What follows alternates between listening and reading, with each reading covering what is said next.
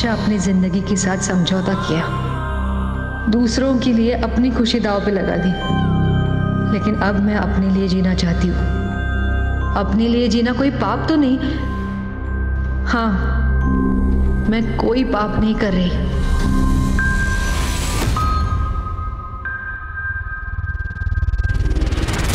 आदाब crime petrol सतर्क के आज के एपिसोड में मैं अनूप सोनी आप सबका स्वागत करता हूँ। नाकाम रिश्ते वो नासूर होते हैं जो जब चुपते हैं तो सहने की दवा भी नहीं मिलती। लेकिन ज़िंदगी को एक दर्द मानकर जीते चले जाना भी एक भूल है। और वो चुप्पी भी एक जहर है, जो हमसे बोलने का साहस छीन लेती है। ये केस भी इसी डगमगाते साहस से जुड़ा था, जिसको आवाज़ की ज़रूरत थी। लेकिन गुनेगार इतना बेखौफ था, जिसने कई जिंदगियों को खामोश कर दिया।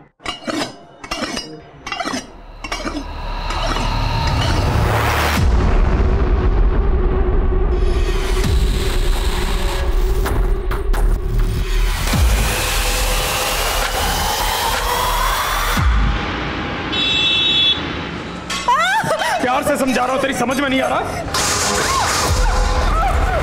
मुझे मत मारो प्लीज़ मैं मैं, मैं हाथ जोड़ती हूँ। मुझे मुझे मारो पिन बोल तेरे कार्ड का। मेरे कार्ड में घर में पैसे नहीं है। पिन बोल तेरे कार्ड का। छोड़ दीजिए मुझे। पिन बोल तेरे कार्ड नहीं नहीं। मैं बता मैं बताती हूँ 2527 2527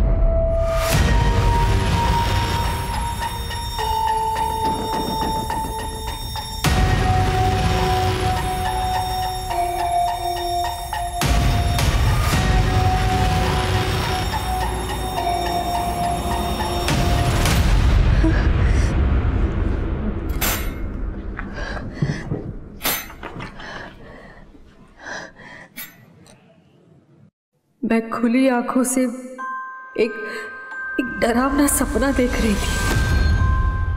मेरे चारों ओर नरक था। पापा बोलते थे, मैं भाग्यवान हूँ, पर दुर्भाग्य मेरे माथे पे लिखा था। मेरा चेहरा रोज मुझसे सवाल करता, मैं किसके लिए सज रही हूँ? पर बिन बोले मैं उस लिबास में रंग जाती, जो चार दीवारें में सजा और समाज में समाज में औरत की मजबूरी बन जाता है।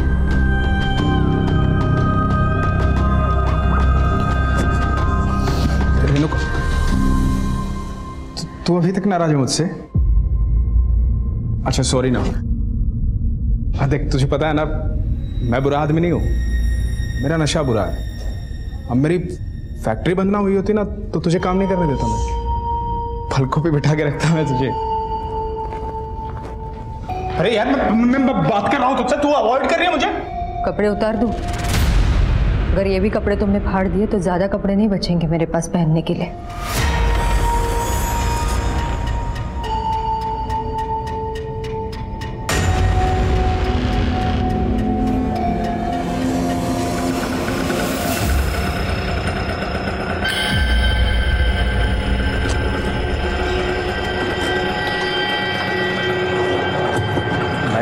लेट हो गया। हाँ चलो।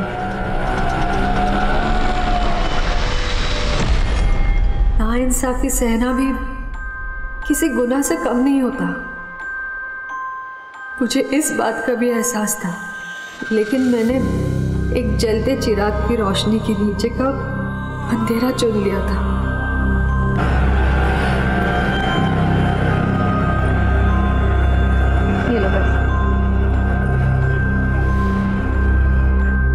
लॉयर के साथ काम करते हुए भी मैं अपने साथ कभी इंसाफ नहीं कर पाई।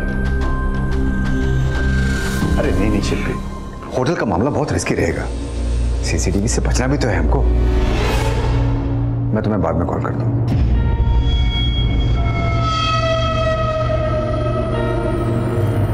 ये तेरा आने का टाइम है?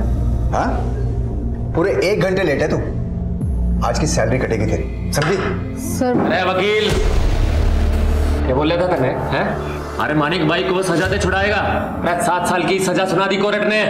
अरे भाई मैं मानिक भाई की अब जमानत करवा दूँगा। अरे चुप अपनी पूछ। अब तारी ज़रूरत ना हमें। हमने जो तुझे पाँच लाख रुपए फ़ीस दी थी ना वो वापस कर वरना। ओ, भाई भाई भाई भाई भाई देखो मेरे पास अभी पैसे नहीं है लेकिन मैं बहुत जल्दी बंदोबस्त करवाऊँगा थोड़ा टाइम दे दो मुझे।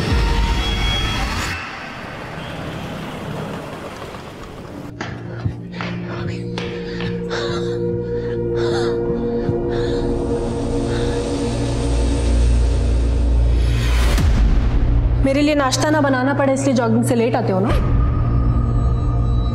जॉब तो तुमसे होती नहीं है। कम से कम किचन ही संभाल लिया करो। आमीन मैं दोस्त से नौकरी की बात करने गया था। ऐसे? जॉगिंग के कपड़ों में? हाँ वो जॉगिंग के बाद ही मिला। तुम बस रहने दो अब। तुमसे कोई काम नहीं हो सकता। सही कहते थे भाईजान। तुमने मुझसे निकाह भी बस इसीलिए किया ना ताकि मैं कमाऊं और तुम घर बैठ के खाओ।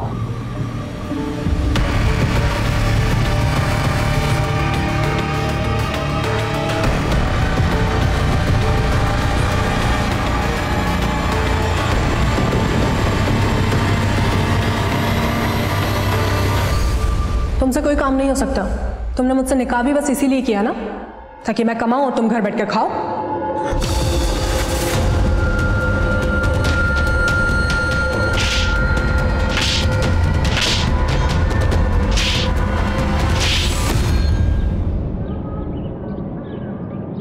हाँ बस पंद्रह मिनट में पहुँच रही हूँ मैं।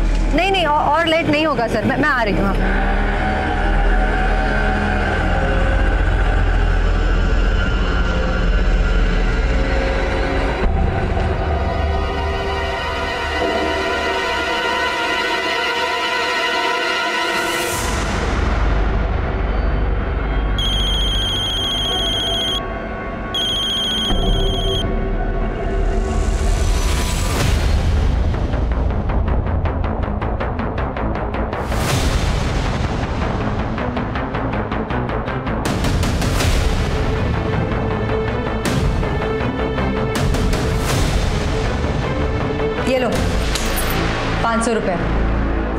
मेरे पास।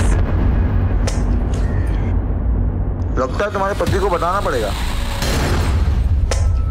ठीक है बता दो। तो मैं तुम्हारे बारे में अभी के अभी पुलिस को बता दूँगी। हाँ? पुलिस को बताएगी? क्या?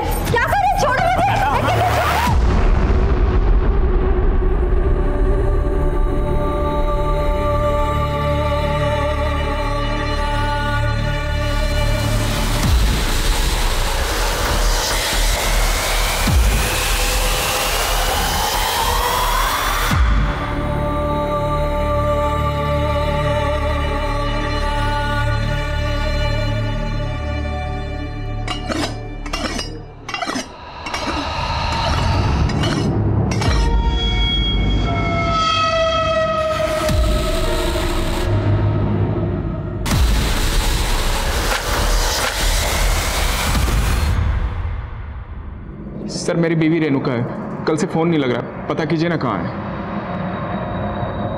आखिरी बार कब देखा? कल सुबह जब वो ऑफ़िस गई थी सर। शिवम नाश्ते में आलू पराठे बनाए हुए हैं और लंच के लिए दाल राइस। याद से खा लेना। पर तुम तो मेरे लिए चिकन बनाने वाली थी ना? सॉरी लेट हो रहा है ऑफ़िस के लिए। मैं रात को बना दूँगी चिकन पक्का। हाँ कोई बात नहीं। सुनो सुनो सुनो, सुनो आप इधर क्या हुआ? बहुत सुंदर लग रही हो। तुम भी ना। चलो बाय अच्छा सुनो ऑफ़िस से आते वक्त चिकन ले आना। हाँ हाँ। सर कल रात को रेणुका जब घर नहीं आई तो मैंने चिकन शॉप्स पे भी पता किया लेकिन कहीं पता नहीं चला। रेणुका के ऑफ़िस में पता नहीं किया? वो सर ऑफ़िस मतलब मुझे मालूम नहीं सर ऑफ़िस कहाँ है उसका। क्या? तुम्हें ये नहीं पता कि तुम्हारी बीवी कहाँ काम करती है? नहीं नहीं सर वो तीन चार महीने पहले ही काम शुरू किया था उसने। काम क्या करती है वो? सर एक वकील के पास काम करती है। इससे ज़्यादा रेणुका ने कुछ बताया नहीं।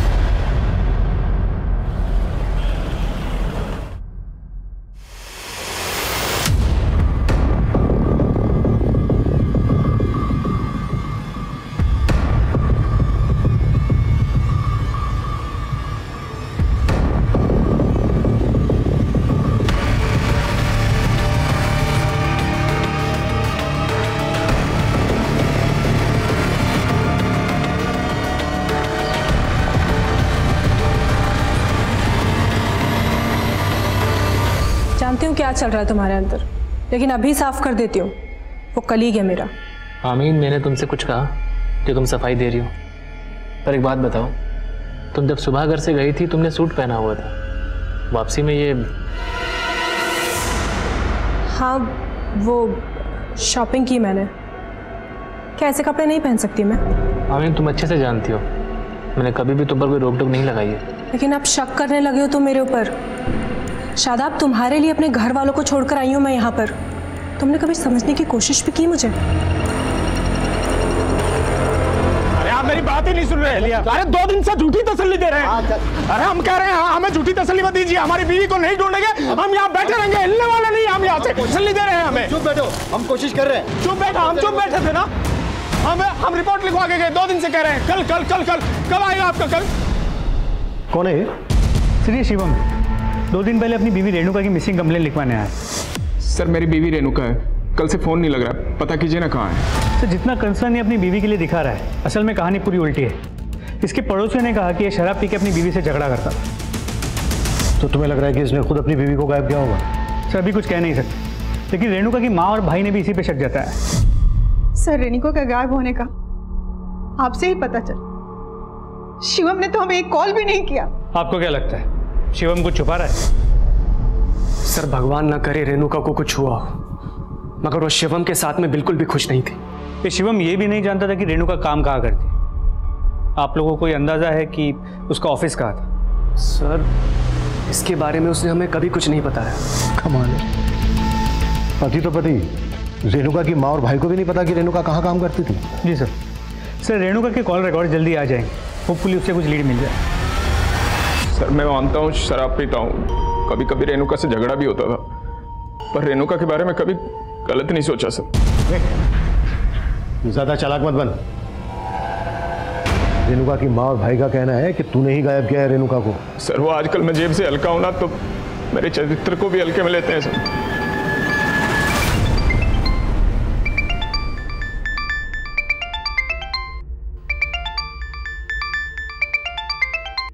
हेलो।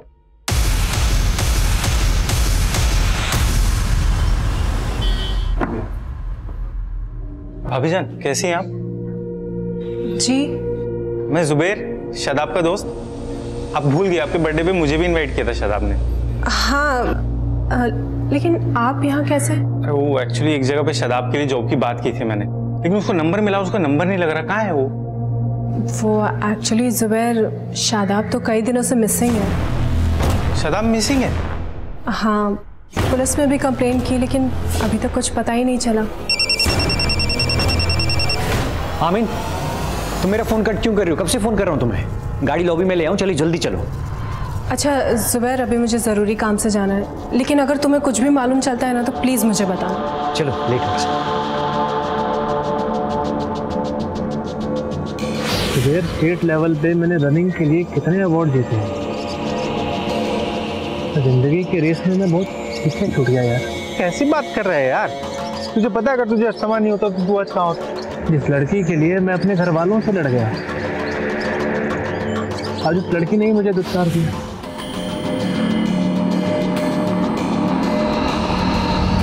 हाँ ठीक है। टीम को जल्दी यहाँ भेजो। हाँ ठीक है, ओके। कुछ लोग गुजर रहे थे। उन्होंने बॉडी को देख के हमें इन्फॉर्म किया। सर यहाँ ये देखिए। ये कटा हुआ सिर रेणुका के चेहरे से मैच करता है। वहाँ बैग में दो कटे हुए हाथ भी मिले।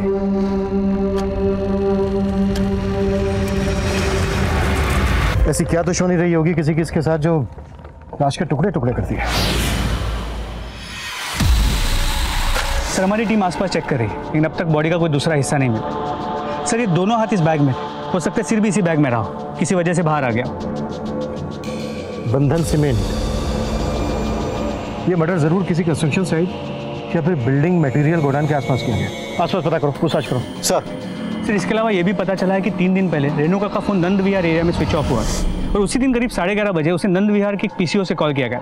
सर मैंने मनीषा को उस पीसीओ पे भेजा था लेकिन ये नहीं पता चल पाया कि वो फ़ोन किसने किया था। ना ही वहाँ कोई सीसीटीवी कैमरा था। हो सकता है रेणुका को फ़ोन करके नंदविहार बुलाया गया हो।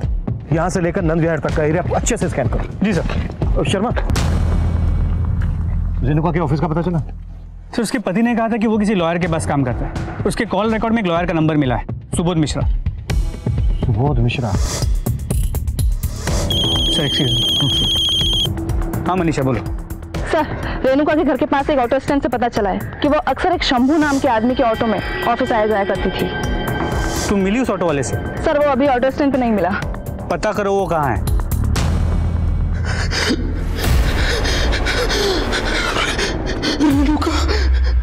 पापा बोलते थे, मैं भाग्यवान हूँ, पर दुर्भाग्य मेरे माथे पे लिखा था। अब हाथों की लकीरों के भरोसे नहीं जीना था मुझे। अपने पैरों पे खड़ा होना था। और मेरे जैसी औरत जब भी साहस जुटाने का सोचती है, यूँ ही नोच ली जाती है, काट दी जाती है।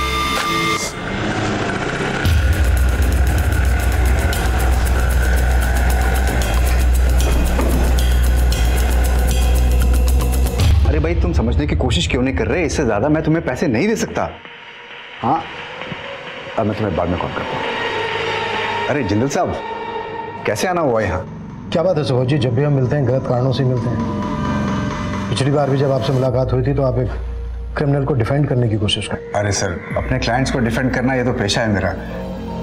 रेणुका को तो आप जानते ही होंगे। हाँ हाँ रेणुका टाइपिस्ट है मेरी। लेकिन बहुत दिनों से ऑफ़िस नहीं आ रही है वो। रेणुका के पति ने हमें बताया कि रेणुका 10 अगस्त को यहाँ आपके ऑफ़िस आने के लिए निकली थी। और उसके बाद हमें उसकी लाश मिली क्या? रेणुका की लाश?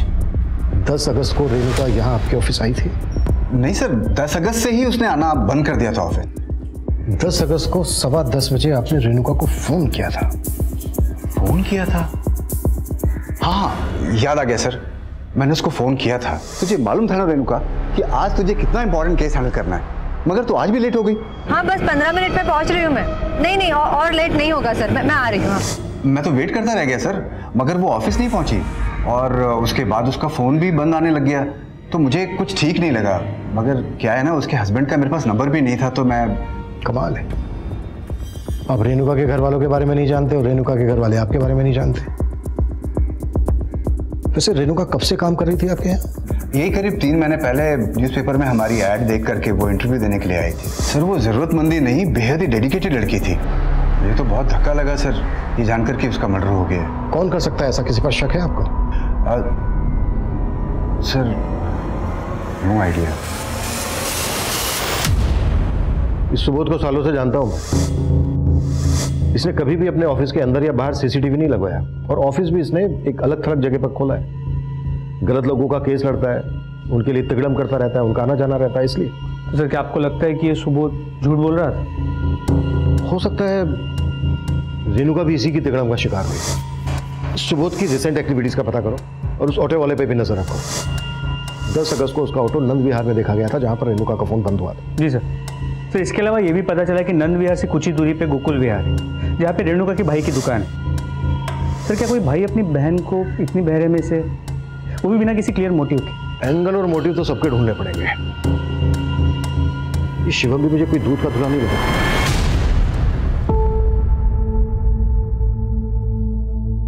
क्या ये? अरे इतने दिन से कह रहा हूँ चिकन खाना चिकन खाना चिकन खाना है। समझ में नहीं आता तेरी? चिकन मुफ़्त का नहीं आता। तुम्हारी शराब की वजह से घर में पैसे नहीं है। अब ये घर का सामान बेच के तुम्हारे लिए चिकन लाओ क्या?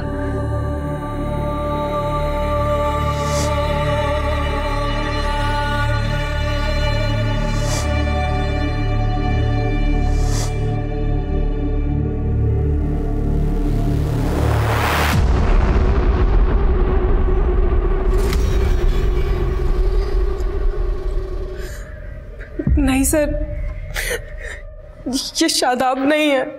ये बॉडी हमें उस एरिया के पास मिली है जहाँ पे शादाब का फ़ोन आखिरी बार बंद हुआ था। माना कि लाश का चेहरा पहचानना थोड़ा मुश्किल है। लेकिन लाश के राइट लेग पे सर्जरी के मार्क्स हैं। क्या शादाब की बॉडी पे ऐसे कुछ मार्क्स थे? नहीं सर पर उसकी पीठ पर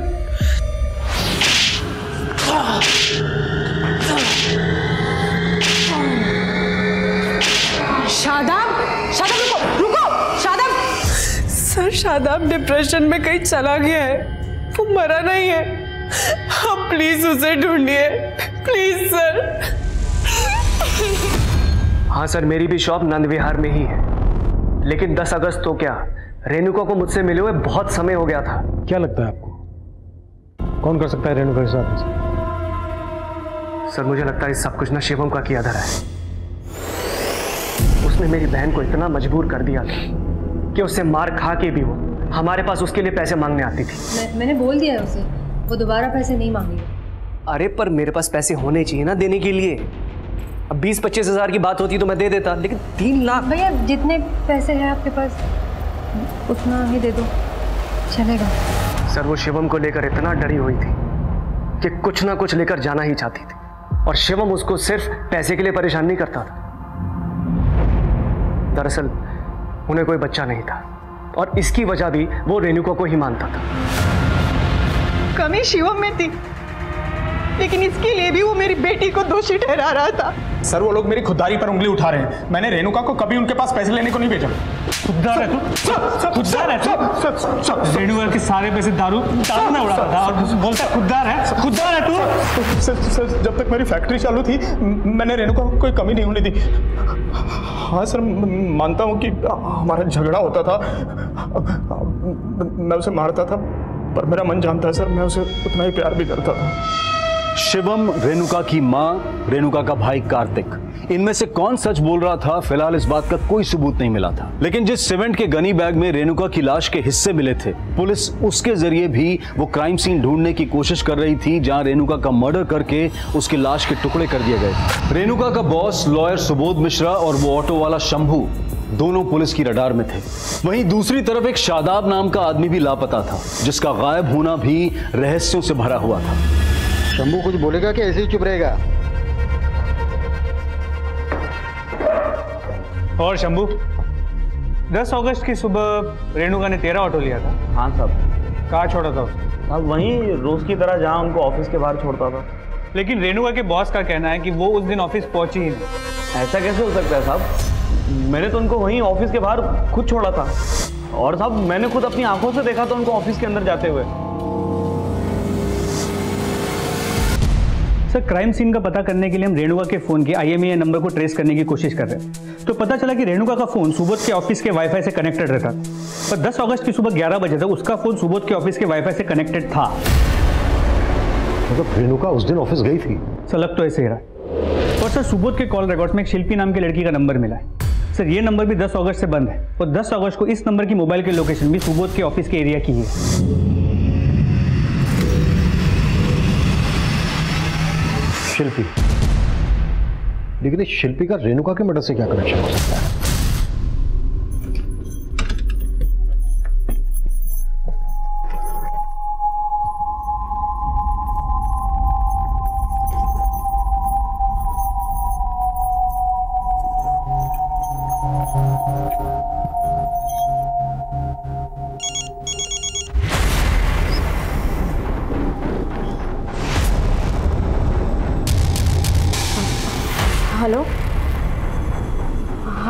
मैं आ रही हूँ।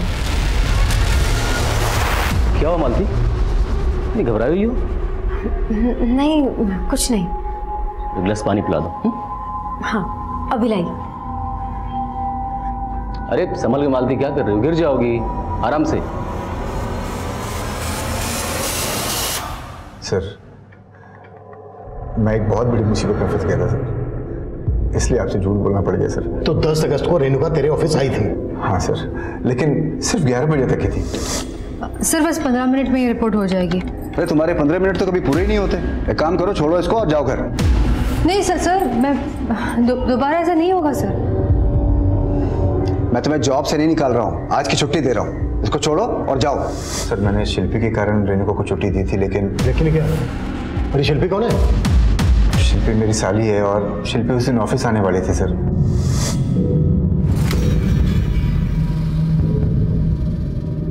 सर शिल्पी और मेरे रिश्ते का शक मेरी वाइफ को ना हो जाए इसलिए हम लोग छिप छिप के मिलते थे सर। अरे शिल्पी। क्या करती है? कम से कम दरवाज़ा तो बंद करने दो।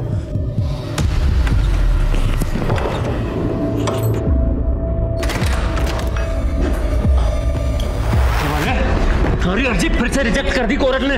मैं मैं तुम्हारे पैसों को बंदोबस्त कराता हूँ। अरे थारा बंदोबस्त तो अब करेंगे हम। लेके चल इसमें।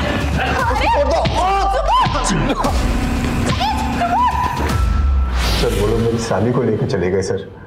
सर उन्होंने अभी भी शिल्पी को अपने पास किडनैप करके रखा हुआ है और मुझसे पैसे मांगते रहते हैं सर। और उन्होंने इसी तरीके से ना रेणुका को उठाने की भी कोशिश की थी सर। जब तक तू बंदोबस्त करेगा ना तब तक थारा ये बंदोबस्त हमारे साथ रहेगा। और अगर बंदोबस्त ना हो पाया ना तो हम इसने बेच देंगे। ठाड़े भाई। नहीं ए- एक नहीं नहीं मैं मैं- क्या मैं मेरी बात तो सुनिए। मैं मैं मैं आपके माणिक भाई को जेल से निकलवा सकती हूँ। मैं मैं निकलवा सकती हूँ मा- माणिक भाई को। कैसे? मैं सुबोध सर के कहने पे मैंने जमानत की एक ऐसी अर्जी तैयार की है जो कोर्ट में रिजेक्ट नहीं होगी। तारी सूरत देख के एक मौका और दे रहा हूँ। तो इस बार भी जमानत ना हुई ना? तो तुम दोनों जब्त हो जाओगे समझे? अबे तो ये बात तूने हमसे पहले क्यों नहीं बताई? कौन है वो लोग? सर वो मानिक के आदमी है सर।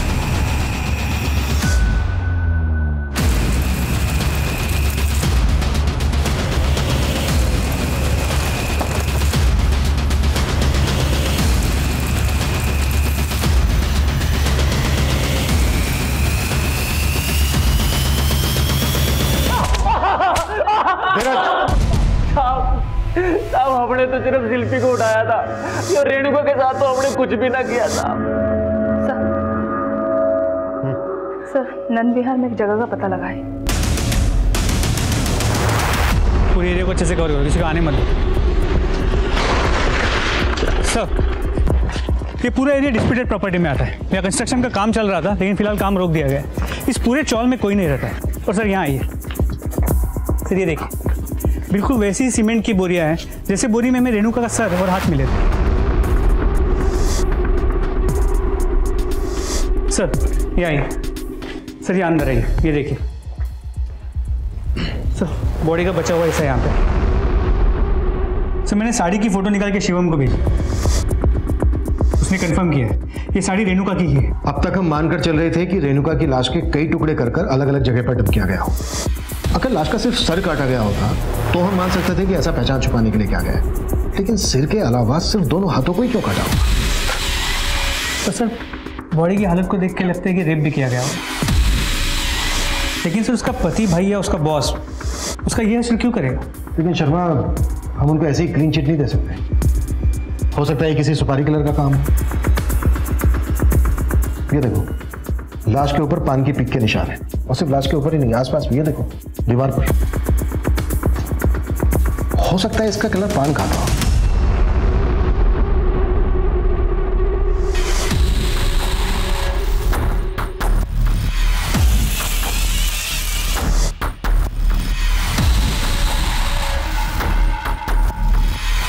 ये लो। आज के बाद मुझे कांटेक्ट करने की कोशिश मत करना। ए, इसमें तो बहुत कम कैश है। लेकिन उसमें उसमें गहने भी हैं। नकली जेवर देकर मेरा काट रही है तू। सारे गहने असली हैं। अब मैं ना असली मर्द हूँ, मैं तुझे दिखाती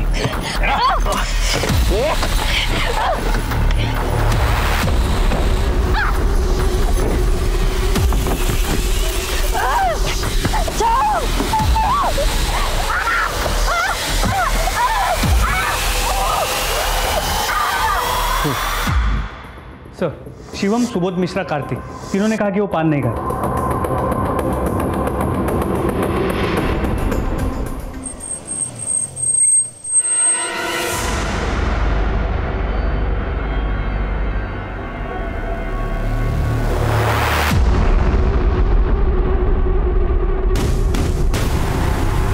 एक तरफ़ शादाब के गायब होने का केस गहरा होता जा रहा था और वहीं रेणुका मर्डर केस।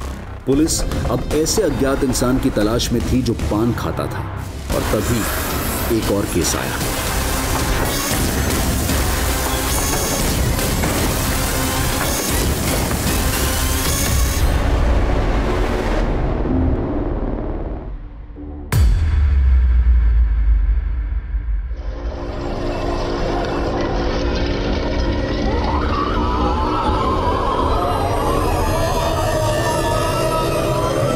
जब मैं ऑफ़िस से आया तो दरवाज़ा अंदर से बंद था।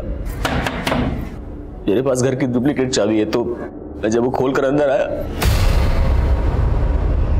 मालते! मालते! मालते! सर मैंने कभी नहीं सोचा था कि मालती इस तरह से सुसाइड करेगी। लेकिन मालती सुसाइड क्यों करेगी? पहले बहुत खुश रहा करती थी वो लेकिन फिर अचानक पता नहीं क्या हुआ कि उसके बिहेवियर में चेंजेस आने लगे। वो अक्सर गुमसुम रहा करती थी।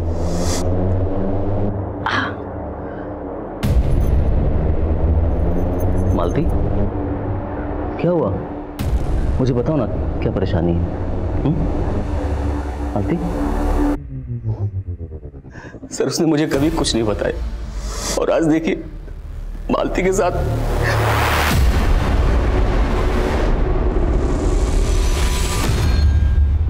शर्मा। पता करो ऐसी क्या वजह हो सकती है जिस वजह से मालती ने सुसाइड किया होगा। ये मालती का पति कहीं हमसे कुछ छुपा तो नहीं रहा है? रो रो कर जी जलाने से क्या फ़ायदा? जो होना था वो तो हो गया ना। अब उसको बदला जा सकता है क्या? हाँ बदला जा सकता मगर तुमने बदलने नहीं दिया। मेरी बेटी अपनी तकलीफों में पीसती रही और तुमने उसको उसके हाल पे छोड़ दिया। तुम्हारी वजह से उसने मुझसे मिलना छोड़ दिया। तुम्हारी वजह से मैं अपनी बेटी को आखिरी बार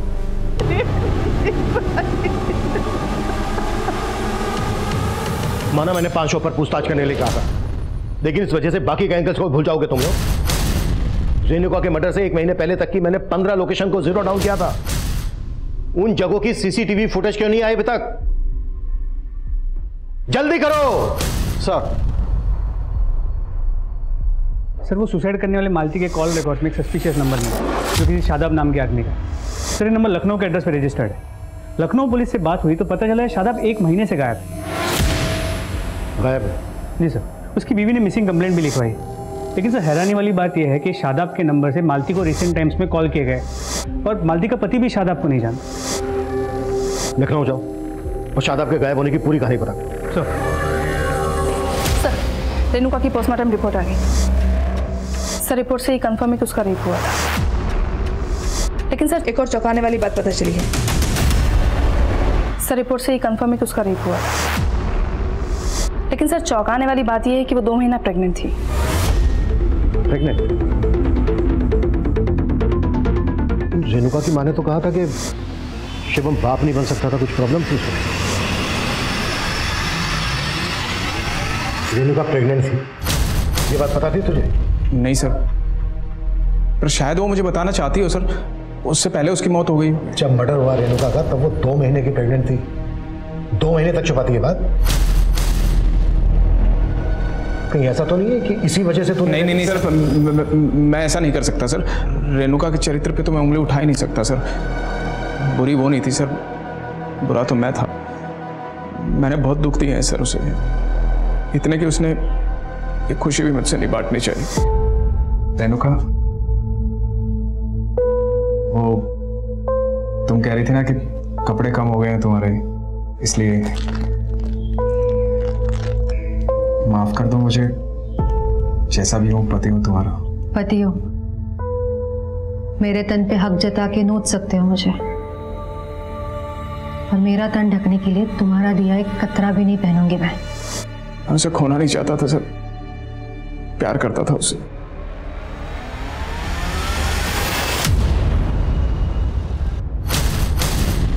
नहीं सर। मैं इस लड़की को नहीं जानती। पर जिस नंबर की आप बात करें वो नंबर कभी शादाब ने इस्तेमाल ही नहीं किया। लेकिन मालती को जिस नंबर से फ़ोन आ रहा था वो भी शादाब के नाम पे रजिस्टर्ड लेकिन सर वो तो एक महीने से मिसिंग है। आखिरी बार कब देखा था उसे? सर उस सुबह मैं जब ऑफ़िस के लिए निकल रही थी तो मैंने देखा वो किसी बाइक वाले से बात कर रहा था। और फिर थोड़ी देर में उसी के साथ चला गया। और उसके बाद ना शादाब का कुछ पता चला और ना ही वो बाइक वाले का।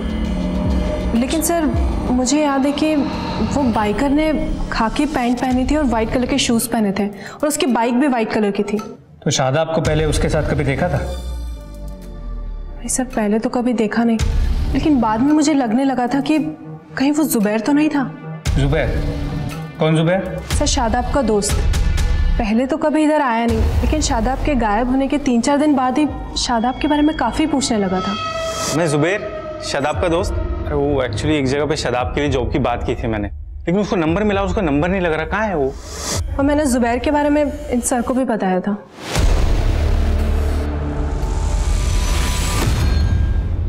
सर रेणुका ने कभी हमें नहीं बताया कि वो प्रेग्नेंट थी। और सर शिवम तो बाप बन ही नहीं सकता। कार्तिक ये कहकर तुम अपनी बहन रेणुका के चरित्र पर सवाल उठा रहे हो? अगर ये सच है तो फिर बताओ। रेणुका की ज़िंदगी में शिवम के अलावा और कौन था? नहीं नहीं सर मुझे इसके बारे में कुछ नहीं पता। सर वो शादाब की बीवी अपना किया छुपाने के लिए मुझे फंसाने की कोशिश कर रही है। तो तुम्हें लगता है कि शादाब के गायब होने के पीछे उसकी बीवी का हाथ? सर मुझे ऐसा शक है क्योंकि उसका शदाब से झगड़ा भी हुआ था और अपने कलीग के साथ उसका अफेयर भी था।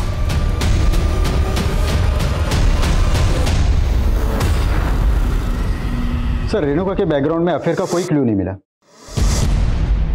लेकिन ये शिवम से ही बोल रहा है इस बात की भी कोई गारंटी नहीं है।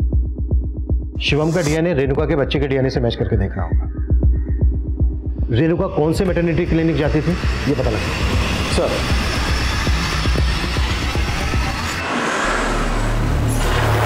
क्या? मालती का मोलेस्टेशन ये आप क्या कह रहे हैं सर? पोस्टमार्टम रिपोर्ट से पता चला है कि मौत से पहले उसको सेक्सुअली असोल्ट किया जा रहा था। और मालती लगातार इस शादाब नाम के आदमी के साथ टच में थी। और शादाब के इस जुबैर नाम के दोस्त के बारे में भी हमें पता चला है। ध्यान से देखिए आपने देखा था कभी मालती के साथ? ही नहीं नहीं सर इनको नहीं देखा मैंने कभी। लेकिन सर एक बात है। घर से मालती के गहने गायब हैं। ए, इसमें तो बहुत कम कैश है। लेकिन उसमें उसमें गहने भी हैं। ये बात आप हमें अब बता रहे हैं। नहीं सर मुझे लगा कि अगर गहने घर में नहीं है तो बैंक लॉकर में होंगे। लेकिन आज सुबह चेक किया तो वहाँ से गायब है सर। लेकिन फिर भी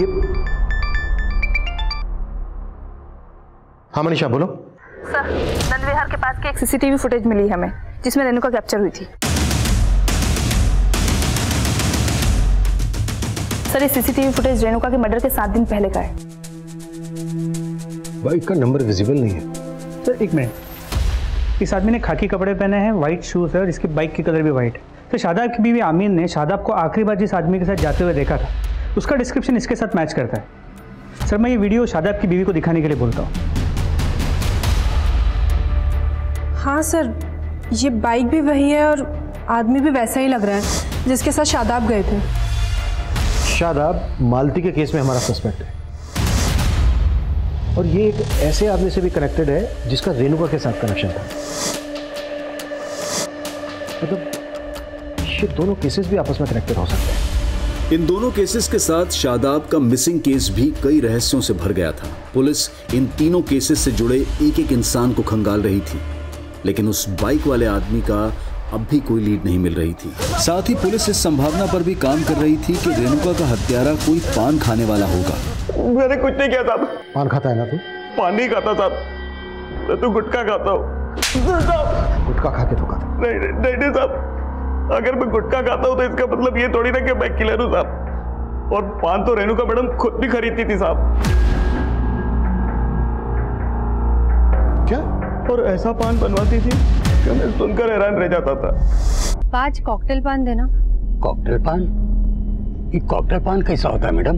पान पे चूना और कत्था लगा दीजिए और तंबाकू डाल दीजिए सारे जो भी आपकी दुकान में। और जब मैंने उनसे पूछा साहब तो उन्होंने बोला कि वो किसी और के लिए पान पैक करवा के ले जाती है। रेणुका किसके लिए पान पैक करवा के ले जाती थी? वो मुझे नहीं मालूम था। भैया इस पान में कत्था चूना लगा के वो सारे तंबाकू डाल दो जो आपके पास है। और इस तरीके के पाँच कॉकटेल पान बना दो। हाँ मैंने इसको G and M I V F fertility centre में देखा था सर जहाँ मेरी वाइफ ने कंसीव किया था। इस आईवीएफ फर्टिलिटी सेंटर में आपकी वाइफ का डॉक्टर कौन? डॉक्टर शैली हाँ सर। रेणुका मेरे पेशेंट थी।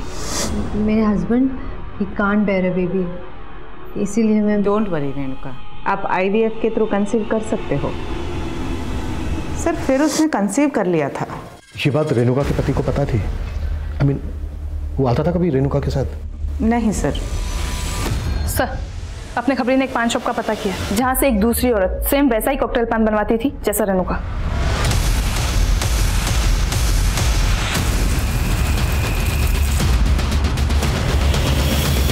कौन है औरत जो तुमसे कॉकटेल पान लेके जाती थी? सर वो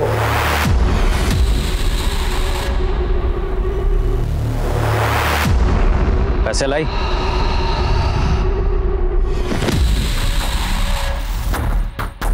ये क्या चिल्लड़ लाई है? मज़ाक समझ रहा तुमको। मज़ाक लग रहा है? हम्म?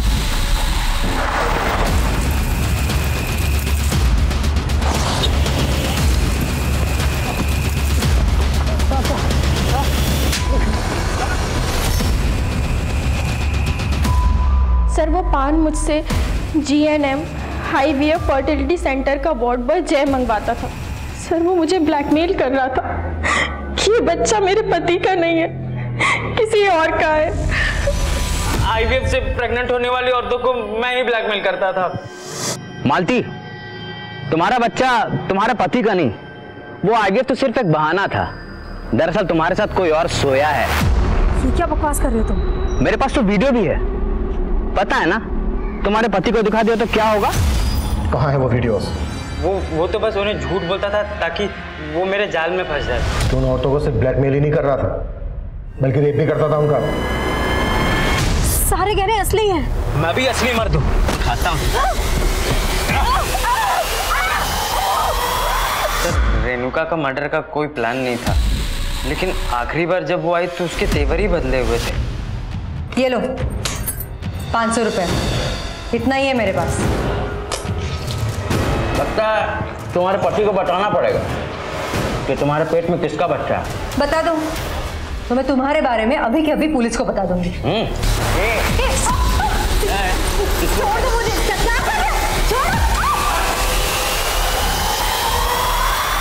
मैंने सोचा था रेणुका को मारकर उसके शरीर के छोटे छोटे टुकड़े करके इधर उधर फेंक दूँगा। पहली बार तो मैंने उसका दोनों हाथ और सिर काट के फेंक दिया। दूसरी बार आता कि उससे पहले आप लोग केस में इन्वॉल्व हो गए थे। इन औरतों को ब्लैकमेल करने में शादाब भी तेरे साथ है ना? नहीं सर शादाब मेरा पुराना दोस्त था। शादाब ने मुझे डॉक्यूमेंट दे रखी थी। तो मैंने उसके आईडी पर एक सिम ले लिया। और मालती को कॉल करने लगा। और काम के नाम पर शादाब को ही मालती के पास भेज दिया पैसे लेने के लिए। ये लो। मुझसे अब और पैसे मत मांगना। और प्लीज़ मेरे सारे वीडियोस डिलीट कर देना। वीडियो जब शदाब को पता चला कि मैं ब्लैकमेलिंग के पैसे उठवाता हूँ तो वो बिगड़ गया। देखो जय मुझे सब पता चल गया है। ये ठीक नहीं है। अगर तुमने उसकी वीडियो डिलीट नहीं की ना मैं पुलिस को सब बता दूँगा। मुझे डर लगने लगा कि वो कहीं मेरी पोल ना खोल दे। तो मैंने उसे बहाने से बुलाया और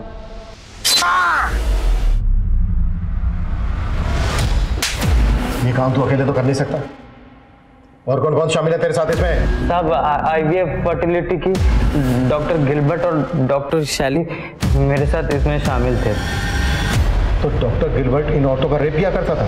नहीं नहीं नहीं सर वो अपना स्पर्म देता था। और वही लोग बताता था कि, कि किसको टारगेट बना है। हमारे यहाँ जितने भी कपल्स आते उनमें से जो भी मेल्स बच्चा पैदा करने में इनकेपेबल होते हम उन्हें झूठा एश्योरेंस देते कि हम उनकी प्रॉब्लम सॉल्व कर देंगे। और इलाज के नाम पर खूब पैसा बनाते हैं। यही तुम लोगों ने मालती के साथ किया। हाँ सर। उसको लगता था मालती ने उसका ही बच्चा कंसीव किया है। और मालती को प्रेग्नेंट करने के लिए गिलबर्ट का स्पम यूज़ किया। तुम दोनों के कहने पर जय ने उसको ब्लैकमेल करना शुरू किया और जय की ब्लैकमेलिंग से तंग आकर उसे सुसाइड कर दिया। एक ज़िंदगी को जन्म देने का झांसा देकर कितनी जिंदगियाँ बर्बाद कर रहे थे तुम लोग? आईवीएफ एक ऐसी पद्धति है जो आजकल काफ़ी चर्चा में है। ऐसी पद्धति के ज़रिए निसंतान दंपत्ति अपने परिवार को आगे बढ़ाने का सपना देखते हैं। और वो ऐसे डॉक्टर्स को किसी मसीहा से कम नहीं समझते। लेकिन गिलबर्ट और शेली जैसे डॉक्टर्स और वार्ड बॉय जय थोड़े से पैसों के लालच में बेहद संगीन जुर्म को अंजाम पहुँचा रहे थे। इससे पहले पुलिस को इस रैकेट की कभी भनक भी नहीं लगी थी। रेणुका मालती और सुधा इन औरतों की चाहे जो भी मजबूरी रही हो लेकिन अगर इन्होंने एक बार भी पुलिस से संपर्क करने का साहस जुटाया होता तो इन्हें यूँ अपनी जान नहीं गंवानी पड़ती। अब मैं अनूप सोनी आपसे विदा लेता हूँ। फिर मुलाकात होगी क्राइम पेट्रोल सतर्क में एक और नए केस के साथ। तब तक अपना और अपने परिवार का ख्याल रखें सतर्क रहें सुरक्षित रहें और देखते रहें क्राइम पेट्रोल सतर्क। जय Hind. For more update subscribe to our channel click the show links and enjoy watching the videos.